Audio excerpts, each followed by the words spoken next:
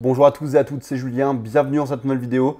Et aujourd'hui, j'aimerais vous partager 5 conseils afin de manager efficacement votre équipe. À savoir déjà, premièrement, que la création d'équipe va clairement différencier un business stagnant d'un business rentable et pérenne. C'est pour moi une étape obligatoire pour tout entrepreneur ambitieux. Il y a de ça deux ans maintenant, quand je me suis lancé dans l'entrepreneuriat, j'ai commencé à recruter mes premiers prestataires. C'était assez jouissif, sans, vous mentir, mais malheureusement, j'ai fait quelques erreurs de débutant. Et c'est pour ça qu'au cours de cette vidéo, j'aimerais vous montrer les leçons dont j'en ai tiré afin que vous aussi puissiez créer votre équipe et donc développer votre business dans les meilleures conditions. Le premier conseil que j'aimerais vous partager afin de manager efficacement votre équipe est le fait d'avoir ce leadership, d'être exemplaire et professionnel vis-à-vis -vis de vos prestataires. Soyez en alignement total avec ce que vous dites et ce que vous faites. Si au jour pour quelconque raison, vous donnez une mission à un membre de votre équipe et que vous, en de ça, faites totalement l'inverse, d'une manière générale, cette personne va avoir une baisse de confiance en vous et donc une perte de motivation et d'engagement dans vos différents projets. Le leadership, c'est vraiment cette capacité, premièrement, d'avoir confiance en soi, mais surtout de donner confiance autour de soi. Vous devez vraiment vous assurer de l'adhésion totale de vos différents collaborateurs par rapport au projet de votre entreprise. Et ça me rappelle il y a déjà trois ans maintenant, quand j'étais encore salarié dans une grande boîte de télécommunications, mes managers ne faisaient pas forcément bien leur travail. Il m'arrivait, comme à différents autres membres de mon équipe, de faire des erreurs, mais malheureusement, ces différentes erreurs étaient révélées au grand public, devant toute l'équipe. Donc, premièrement, ça nous dégoûtait, ça nous mettait la pression. Et deuxièmement, et surtout, au lieu de nous tirer vers le haut, il nous rabaissait plus qu'autre chose. Donc, d'une manière générale, ce qui sera intéressant à faire quand un membre de votre équipe fait une erreur, déjà de le recadrer en privé, pas devant tout le monde, mais surtout de lui montrer et de le conseiller par rapport aux différentes erreurs qu'il a pu effectuer. Le deuxième conseil que j'aimerais vous partager afin de manager efficacement votre équipe est le fait de fixer des objectifs clairs et précis à chaque prestataire.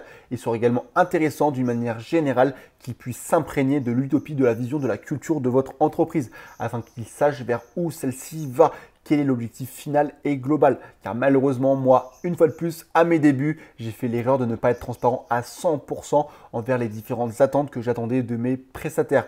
Il en a résulté voilà, des travaux à moitié bâclés, pas du tout finis, et donc une perte générale de croissance de mon entreprise. Donc assurez-vous quand vous recrutez quelqu'un, un prestataire, de lister, segmenter, rédiger les différentes tâches qu'il doit exécuter. Et allez-y sans tabou, sans aucune gêne. Il faut vraiment qu'il ait ce retour sur investissement. Sur chaque euro investi, il faut vraiment qu'il y ait quelque chose qui puisse développer votre entreprise. Également, une fois de plus, il sera aussi intéressant de fixer des objectifs temporels, donc sur le temps hebdomadairement, trimestriellement et annuellement parlant. Moi, je sais que par rapport à mes différentes équipes, on fait un point toutes les, toutes les semaines par rapport aux différentes clés de performance, donc les indices par rapport aux différents revenus qu'on a pu générer avec l'entreprise sur la semaine écoulée, afin de pouvoir réajuster, réoptimiser si les résultats ne sont pas en rendez-vous, au rendez-vous également d'une manière trimestrielle, également d'une manière annuelle. On arrive maintenant sur le troisième point de cette vidéo, donc le fait de responsabiliser vos équipes. Ça c'est quelque chose qui n'est pas forcément facile à faire, mais le fait de responsabiliser une personne va la rendre beaucoup plus investie dans vos projets. Elle va pouvoir s'auto-manager d'une manière générale et elle va en fait être indirectement responsable en fait de l'échec de l'objectif si elle n'arrive pas à l'atteindre.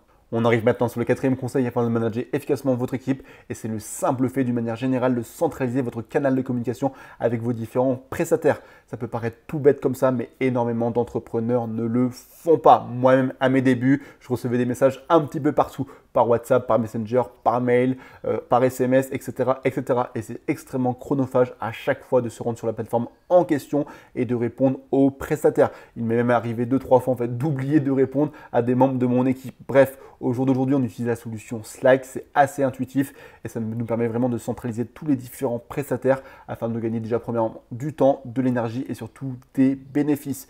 Également en similarité de ça, il faudra que vous formiez vos différentes équipes aux priorités. Parce que moi, à mes débuts, je recevais en fait des coups de fil, des messages un petit peu pour rien, pour des choses extrêmement futiles. Il faudra vraiment que vous briefiez en fait vos différentes équipes au début dans le recrutement afin qu'elles puissent en fait vous déranger uniquement pour les priorités. Le cinquième conseil que j'aimerais vous partager afin de manager efficacement votre équipe sera de féliciter et récompenser vos différents partenaires.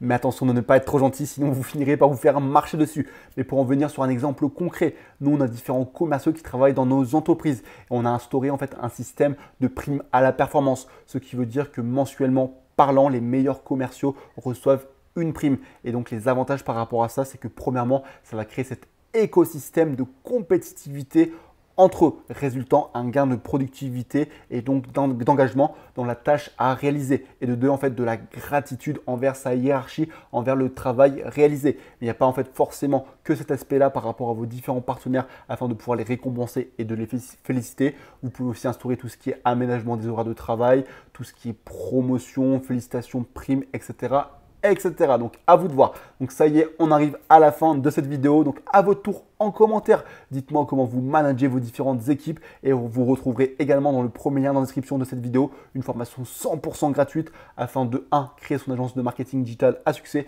mais de 2. comment créer une vraie équipe autour. Donc merci pour votre attention, à la prochaine. Ciao ciao, bye bye.